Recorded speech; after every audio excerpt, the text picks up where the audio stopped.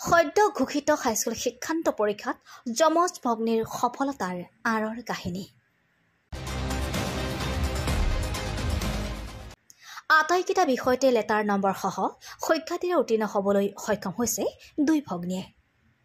সঁচা ক'বলৈ গ'লে আমাৰ ঘৰৰ পৰিৱেশটো যিহেতু সেই সময়ত মোৰ মাতৃৰ অলপ অসুস্থতা দেখা গৈছিল। গতিকে সেই সময়ত তেনে এটা পৰিৱেশত মই যথেষ্ট কষ্ট কৰিব লগা হৈছিল। মাজতে এনেধৰণৰ হতাশা আহি পৰিছিল।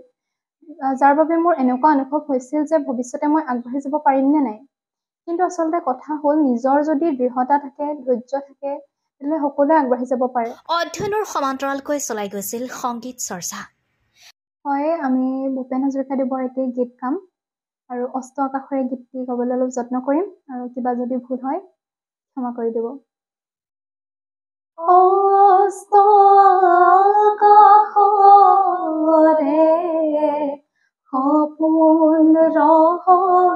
honey.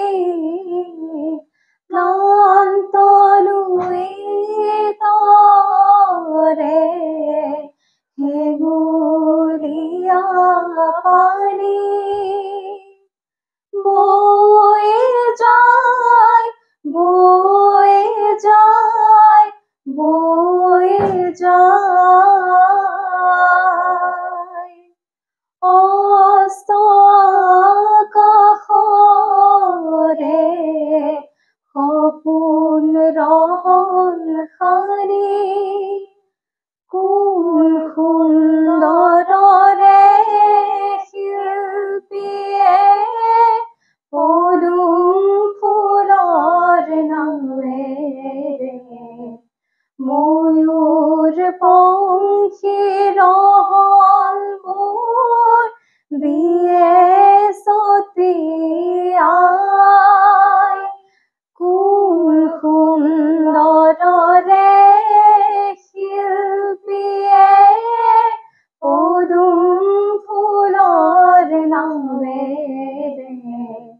ময়ূৰ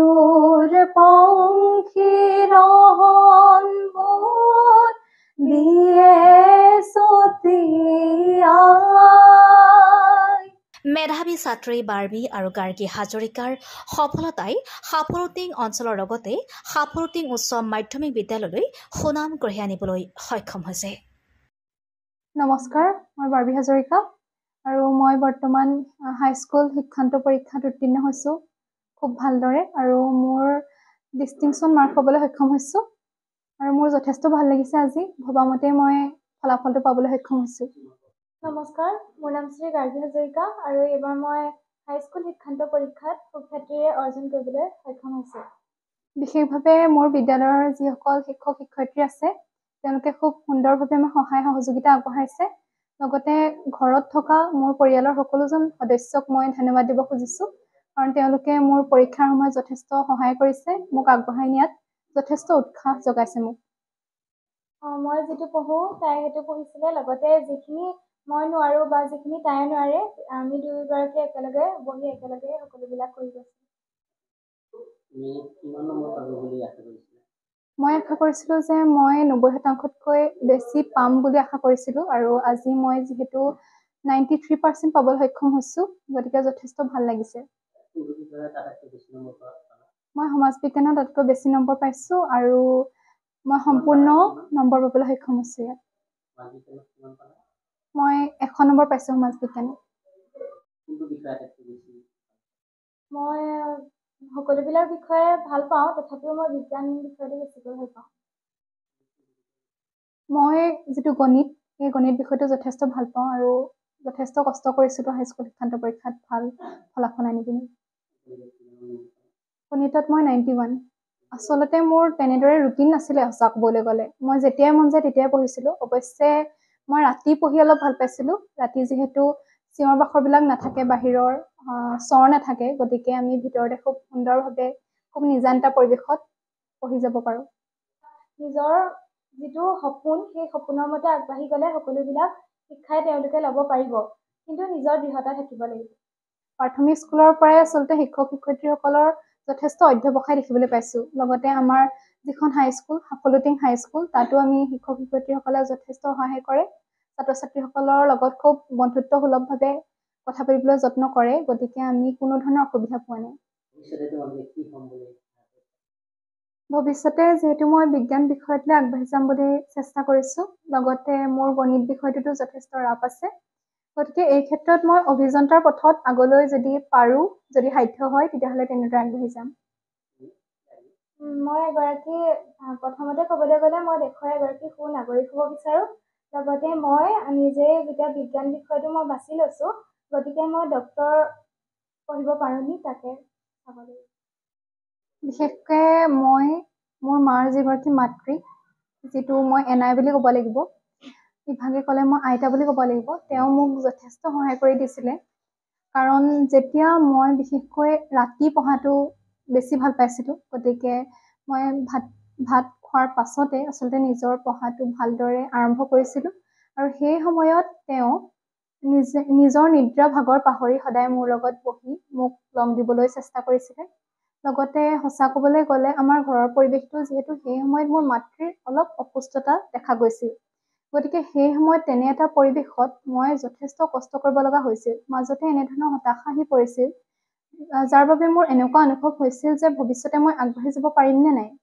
কিন্তু আচলতে কথা হ'ল নিজৰ যদি দৃঢ়তা থাকে ধৈৰ্য থাকে তেতিয়াহ'লে সকলোৱে আগবাঢ়ি যাব পাৰে। আৰু মোৰ এই ক্ষেত্ৰত মাতৃ আৰু মোৰ যিগৰাকী এনাই তেওঁ মোক যথেষ্ট আগবাঢ়ি যোৱাত সহায় কৰিছিলে। মই নিজৰ মনৰ ভাৱখিনি প্ৰায়ে তেওঁলোকক কৈছিলোঁ। যি হতাশাত ভুগি ভুগিবলগীয়া হৈছিল সেই হতাশাৰ ভাৱখিনি মই নিজৰ মাক কৈছিলোঁ আৰু তেওঁ মোক যথেষ্ট সহায় কৰিছিল কৈছিল যে ভৱিষ্যতে আগবাঢ়ি যাবলৈ হ'লে কষ্ট অলপ কৰিবই লাগিব। গতিকে সেই কথা চিন্তা কৰিয়ে মই যথেষ্ট কষ্ট কৰিছিলোঁ আৰু নিজৰ লক্ষ্য কেতিয়াও আমি এৰি দিব নালাগে। জীৱনত আমাৰ যিমানেই দুখ নাহক কিয় নিজৰ লক্ষ্যত সদায় অটল থাকিব লাগে আৰু সেই লক্ষ্যৰ পথে আমি আগবাঢ়ি গ'লে আমাক কোনেও ৰখাব নোৱাৰে। হাফলিং হাইস্কুলৰ প্ৰতিজন প্ৰথমতে শিক্ষকসকললৈ বাইদেউসকললৈ আন্তৰিক ধন্যবাদ জনাইছোঁ। ছাৰহঁতৰ কাৰণে আজি ইমানখিনি সম্ভৱ হৈছে। খুব ভাল পাইছিলে হাফলিং হাইস্কুল মোৰ ছোৱালীকেইজনী এতিয়াও আত্মাখন মোৰ মাক হিচাপে সিহঁতৰ হাফলিং হাইস্কুলতে যেন আছে মোৰ তেনেকুৱা অনুভৱ হৈছে। জীৱনত এনেকুৱা কাম নকৰিবা যিটো কামত সমাজে সমাজৰ ওচৰত তুমি মূৰতল কৰিবলগীয়া হয় সদায় ওপৰ সদায় সন্মুখৰ ফালে চাবা পিছফালে বহুত বাধা বিঘিনি আছে কিন্তু পিছলৈ নাচাবা সদায় আগলৈ চাবা নিজৰ লক্ষ্য পথত সদায় স্থিৰ হৈ থাকিবা হাজাৰ হাজাৰ বাধা বিঘিনি আহিব কিন্তু নিজৰ লক্ষ্যৰ পৰা আঁতৰি নাযাবা কেতিয়াও। কেতিয়াও আশীৰ্বাদ কৰিব সকলোৱে যাতে মোৰ ছোৱালী দুজনী যাতে আগবাঢ়ি যায় ইহঁতি ভাল ছোৱালী হয় যাতে সমাজৰ কাৰণে কিবা এটা কৰিব পাৰে কিবা অকণমান যদি সমাজৰ কাৰণে কৰিব পাৰে মাতৃ হিচাপে মই সেয়া গৌৰৱ অনুভৱ কৰিম। সেয়া ক'ব বিচাৰিছোঁ আৰু। বাৰ্বি আৰু গাৰ্গী নাতিনী হয় হ'লেও মানে মোৰ নিজৰ নিজৰ ছোৱালীতকৈ বেছি আপোন। আজি মোৰ খুব আনন্দ আনন্দ পানী ওলাইছে। আনন্দ চকু ওলাইছে। সিহঁতক সৰুৰ পৰা বহুত কষ্টৰে একাশী নং খামন গুণাকটীয়া স্কুলৰ পৰা সৰুতে লগালৈ নাম লগালে নাম লগোৱাৰ পৰা মই ইহঁতৰ প্ৰতি আকৰ্ষণ বেছি পঢ়াৰ ক্ষেত্ৰত সদায় মই যিখিনি বেয়া কথা সেইবিলাক ক'ব নকওঁ সদায় যিখিনি ভাল শিক্ষকসকলক মই কওঁ ঘৰত বুজাই দিওঁ সদায় যাতে তোমালোকে সদায় শিক্ষকৰ কথা শুনিবা স্কুলত যিখিনি পঢ়ুৱাই সেইখিনি মন দি শুনিবা সেইখিনিকে যদি বুজি নোপোৱা আকৌ স্কুলত সুধিবা এই একাধিক ক্ৰমে ইহঁতে সদায় আগবাঢ়ি আহিলে আজি মই নথৈ সুখী প্ৰথম সুখী মানে ইহঁতি ইমান দিন যে একাশী নং গুণাকটীয়া এল পি স্কুলৰ পৰা প্ৰথম প্ৰথম ভাগতে পাছ কৰি আহিলে এতিয়া হাফলডিং হাইস্কুলৰ পৰা যিটো সফল পালোঁ সেই সেই সফলৰ কাৰণে মই হাফলডিং হাইস্কুলৰ সকলো শিক্ষক শিক্ষয়িত্ৰীকে ইয়াৰ পৰাই মই ধন্যবাদ জনাইছোঁ যাতে ভৱিষ্যতে তেখেতসকলেও আমাৰ ঘৰলৈ ইহঁতৰ খা খবৰ ল'বলৈ আহি থাকে। গতিকে দুখৰ বিষয় ইহঁতক বহুত কষ্টৰ মাজত মোৰ মিছেছেও বহুত কষ্ট কৰিলে পঢ়াৰ ক্ষেত্ৰতো সদায় ইহঁতক আগবঢ়াই নিবলৈ চেষ্টা কৰে।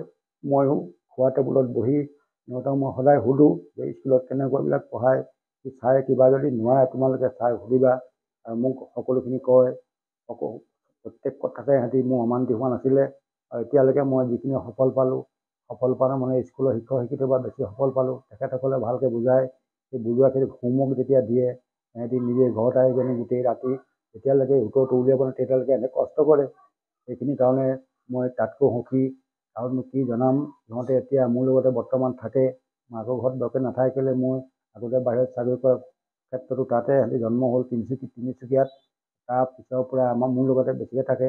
বেছিকৈ থোৱাৰ ক্ষেত্ৰত সিহঁতি বহুত আগবাঢ়ি গ'ল। আৰু দ্বিতীয় কথা হ'ল কি মোৰ মিছেছেও ইহঁতক পৰীক্ষাৰ সময়ত গোটেই ৰাতিটো পঢ়ি থাকে।